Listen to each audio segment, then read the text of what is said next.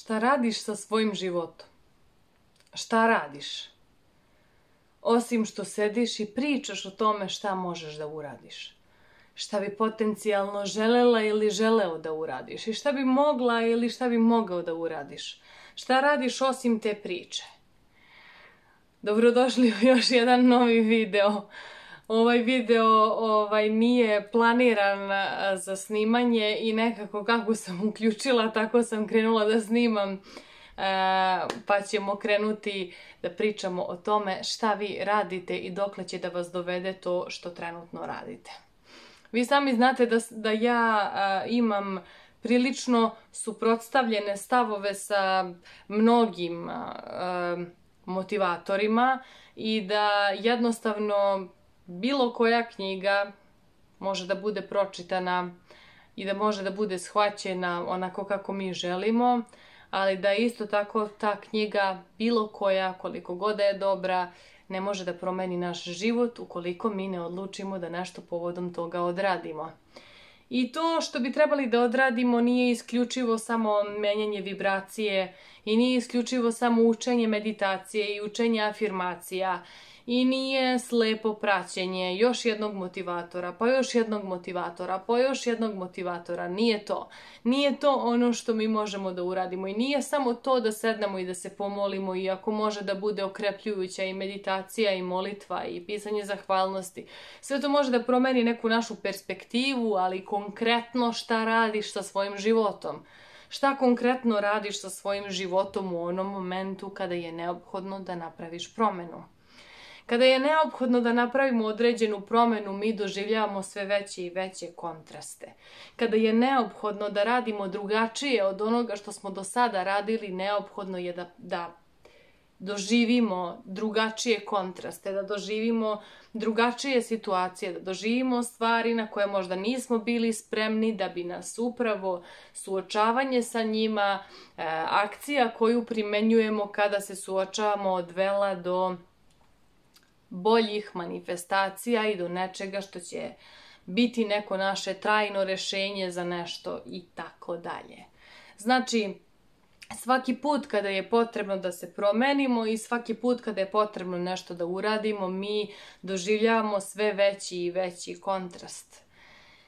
I svaki put kada mnogi osjete te velike kontraste, ljudi kada se uplaše u momentu, slušajte me sad, molim vas, ovo je mnogo bitno da shvatite. Kada se uplaše u momentu, kada se uplašite u tom trenutku kada dođe do kontrasta, kada e, dugujete određeni novac, kada niste platili možda određene rate kredita, kada ne znam, e, se razbolite od nečega pa ne znate šta će sutra se desi, kakva će da bude analiza i uplašimo se u tom momentu i sutra dan možda shvatimo da taj strah toliki nije bio baš toliko osnovan, znači da je delimično bio neosnovan, čak i ako postoji delimično problem, kada ne želimo da ga rešimo, slušajte me sad, kada ne želimo da ga rešimo i kada pokušavamo da ostanemo u našoj zoni udobnosti, u našoj zoni komfora, u tom momentu mi počinjemo da umanjujemo problem bez obzira koliko je hitno da se reši.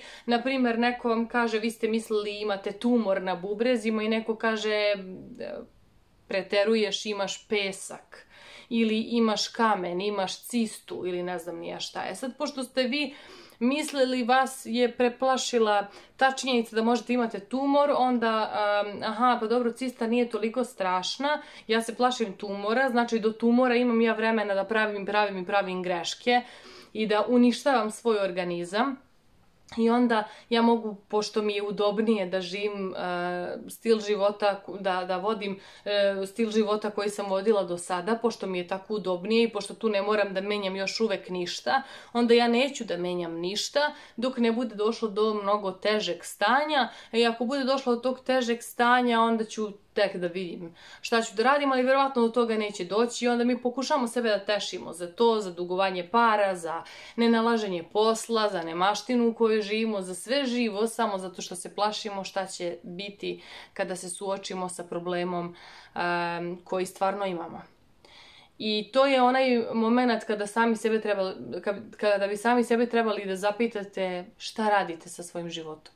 Šta radite? Šta izvodite? Koga lažete da živite idealno? Koga lažete da će sve da se reši preko noći? Koga lažete da će nešto sutra magično da se desi, da će sad da se iđe anđeo sa neba da vam donese džak para i da kaže evo baš zato što si ti takav bio divan, ja ću sad tebi da pomognem, tebi ću baš dam džak para ja, I ne moraš ti da uradiš ništa, nema veze što svi ljudi idu da rade negdje koji se muče da prehrane svoju porodicu, ti ne moraš da radiš ništa, ti samo sedi, meditiraj i ti samo veruj, prekrsti se par puta i to će, to će da ti donese sve u životu. Ljudi neće, Bog vam je dao i ruke i noge da uradite nešto sa svojim životom i da napravite neke promjene konkretno i da budete aktivni što se tiče postizanja vaših ciljeva. Kada dođe do toga da imamo neku situaciju koja je potrebna hitno da se reši i prespavate taj jedan dan. I onda shvatite, aha, prespavao sam, uspeo sam da prespavam, pa dobro, nije baš toliko strašno. Ili, na primjer, ne znam, imate, ajde da kažem, dugovanje neku banci. Zato što mi se to dešavalo milion puta, imala sam i skoro situaciju sa tim. Imate neko dugovanje u banci. I sad, naravno, pojedinci će da razmišljaju, ok, kako da isplatim ovo što pre, ako se desi nesporazum šta god, kako god da ste napravili dugovanje, apsolutno nebitno. Znači, kako da isplatim ovo što pre šta ja, šta ja mogu da uradim, kako ja mogu da se angažujem i koliko i šta treba da uradim da bi ja ovo što pre otplatila. Ljudi koji ne razmišljaju tako, razmišljaju ovako. Ma jebem ti banku, samo uzimaju i samo uzimaju i samo uzimaju vidjet ćemo već, rešit ćemo nekako. Rešit ćemo nekako. To je nešto što ne dovodi do rešenja. To je onaj moment kad sami sebe treba da zapitate šta radiš bre? Koga lažeš? Koga lažeš? Stani ispred ogledala i kaži koga lažeš, aman. Šta ćemo nešto da promenimo? Nema nešto, idemo konkretno. Šta treba da se uradi konkretno? Jel treba da pozajmiš pare, jel treba da tražiš posao, jel treba da tražiš platu koju ti neko duguje da bi platio taj račun, jel treba nešto da uradiš? Znači nema nešto. Vidjet ćemo, uradit ćemo nešto. Pljujemo banku koja vam je dala pare za nešto, ne znam, ako ste uzimali kredit u onom momentu kada vam je bilo potrebno, bez koje možda ne bi imali za osnovne potrebštine, bez koje možda ne bi imali za lekara, bez koje možda ne bi imali za ko zna šta. Znači, ta banka vam je obezbedila to sve. I sada kada bi vi trebali da vratite nešto što i nije bio vaš novac, na primjer, vi počinjete da pljujete i psujete i onda e, konkretan vaš odgovor je a, sredit ćemo nekako, snaći ćemo se nekako, snaći ću se nekako vidjet ću već nešto, pa vas onda banka zove, pa vi prekidate vezu, pa vas onda zove, ne znam, neko kome dugujete, pa vi prekidate vezu, pa vas onda, pa vam šalju mailove, pa vi onda počinjete da ih psujete i onda vi mislite da ste uradili nešto. Ja sam dala sad jedan primjer. Postoji jako puno primjera. Jako puno primjera postoji za mnoge situacije u kojima je potrebno da se angažujete i da dignete dupe sa stolice i da uradite nešto što možda vam nije prijatno i što možda ne bi voljeli da radite, ali je jednostavno neophodno da radite jer ste sami sebe uvalili u tu realnost u kojoj ste. Sada, dragi gospođi i gospodo, vadite se iz toga. Sada se vadite iz toga. Nije poenta da kada nam se dešava nešto, da kada nam je frižider prazan, kada nemamo za hranu, kada nemamo za račune, kada nemamo za najosnovnije stvari. Znači, ja, vi znate da sam ja uvek prizemna i realna i da se uvek fokusiram na takve stvari koje su po meni bitne, ne znam, za vašu decu, za vašu porodicu. To su najosnovnije stvari. I kada vidite da te najosnovnije stvari ne štimaju kako treba, vi ne radite nešto kako treba. Vi ne radite nešto kako treba, ne preduzimate odgovornost za ono što vam se dešava uopšte, nego se pravite, eto tako bit će nekad nešto, eto tako nekako će se sredi, možda će neko da vam pomogne, možda će padnu neke pare s neba, vi dovoljno verujete u Boga, molite se Bogu, Bogorodici Isusu Hristu, Budi i svim redom svecima i oni će vam pomognu zato što se vi sad tu molite svima živima, pa evo imam ja i Budu i Isusa, imam sve žive okolo, imam i kristale i sve živo, ali jednostavno taj kristal neće da ustane i da radi umjesto mene i neće taj Buda da ustane da radi umjesto mene, oni mogu da mi pomognu da dobijem ideju, da dobijem nešto, ali oni neće da rade moj posao za koji sam ja stvorena da ga radim. I zato kažem šta radite? Šta vi radite sa svojim životom ako kod vas apsolutno ništa ne štima? Ajde lepo budite realni, budite iskreni i zajebite zakon privlačenja, zajebite priče iz knjiga i sedite lepo, stavite ogledalo ispred sebe i popričite sa sobom i pogledajte sebe u ogledalo i zapitajte se šta radite. Šta radite sebi, šta radite vašoj porodici, šta radite vašoj deci. Šta radite vi koji niste spremni da prihvatite odgovornost za, za neke stvari, da ste zastrali neke stvari, da prihvatite da niste umeli nešto kako treba i da prihvatite da, vi ste, da ste vi osoba koja mora da nađe rješenje za trenutnu situaciju bez obzira šta je ona. Da li nemate za svoje dete da ga odvedete kod lekara? Šta radite? Šta radite?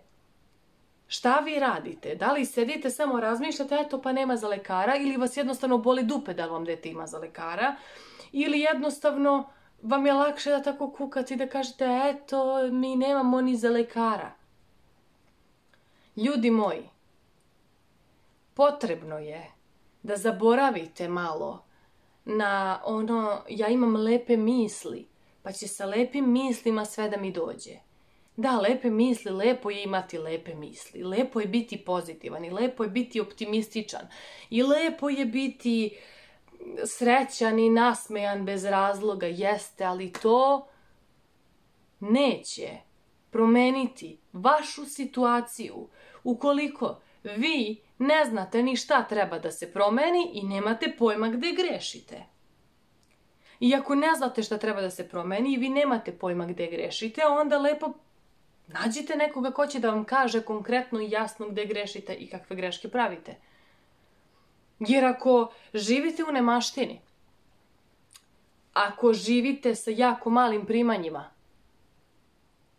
to je vaša greška.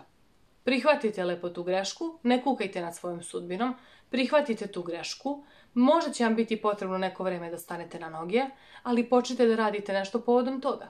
Edukujte se o financijama, edukujte se o novom zaposlenju, tražite jedno zaposlenje, drugo zaposlenje, dodatni posao. Izvinite, molim vas, ako hoćete da zaradite, onda morate nešto povodom toga da uradite dok se ne snađete i dok ne budete dovoljno stručni da možete da ležite, a da vam pare stižu. To je ta neka, jel, žrtva koju vi morate da date. Jedina žrtva koju morate da date da bi se vaš život promenio jeste vaše vreme uloženo na prave stvari koje dovode do rešenja. Šta su stvari koje će tebe da dovedu do rešenja? Šta je potrebno da uradiš da bi tebe neka tvoja akcija dovela do rešenja? I znam da svako od vas sad ima odgovor. Šta je tačno to što treba da se uradi? Šta tačno? Šta? Da li treba da promeniš ishranu? Da li treba ideš kod lekara? Da li treba da tražiš neku pozajmicu, ali treba da odeš da podigneš kredit, da li treba da vratiš kredit, da li treba da nađeš dodatni posao. Šta god da je to. Koliko god da sebe maziš i pokušavaš ta da, ljubav prema sebi. Pa ja ne znam koliko ljudi koji propade, život im propade od ljubavi prema sebi. Život im propade od ljubavi prema sebi zato što ne shvataju da je ljubav prema sebi isto tako suočavanje sa istinom i suočavanje sa stanjem u kome se nalazimo. Ne možemo mi da ignorišemo stanje u kome se nalazimo, mislimo da će se tako neka situacija rešiti. Imam ovdje knjigu Robina Šarbe, malo pre sam našla nešto što sam podvukla, gdje je on isto rekao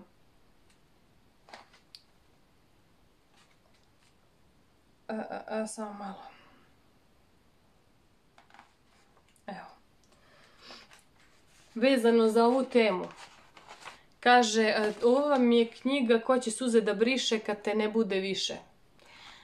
Robin Sharma. I 32. savet kaže budite aktivni. I tu sam podvukla šta je rekao? Kaže, imao sam prilike da čujem mnogi motivacijone govornike kako kažu znanje je moć. Ne slažem se sa tim. Znanje nije moć. Znanje je potencijalna moć. Ono postaje prava moć onda kada zaista odlučite da ga primenite.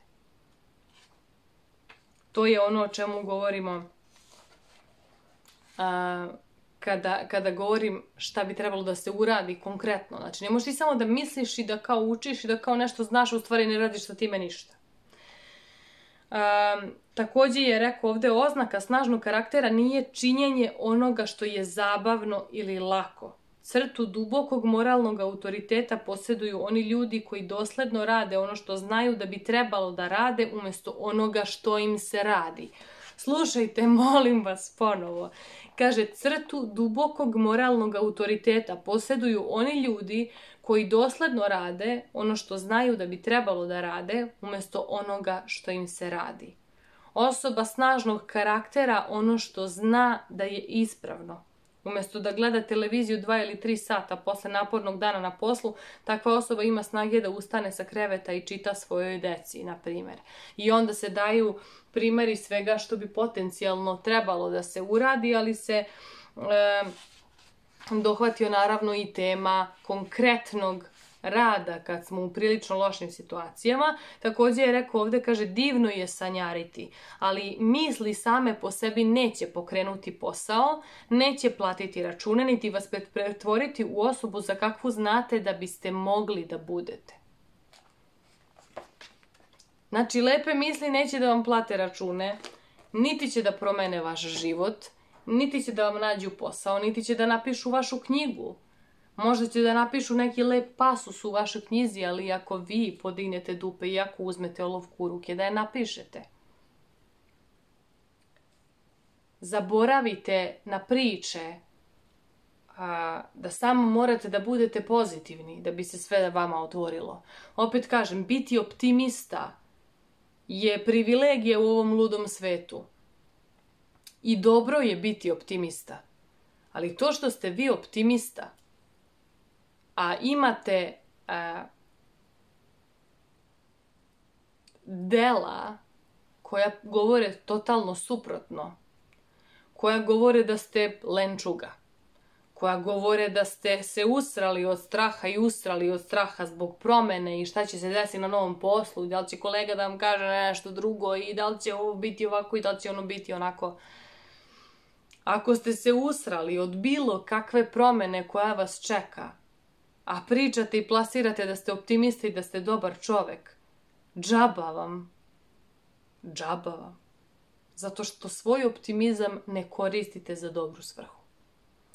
Tako da se nadam da će nekome doći iz dupeta u glavu nakon ovog videa i da će bar neko nešto uraditi nakon ovog videa. Idite na subscribe, komentarišite, lajkujte, pratite me na Instagramu i na Facebooku i vidimo se u nekom narednom videu. Ćao!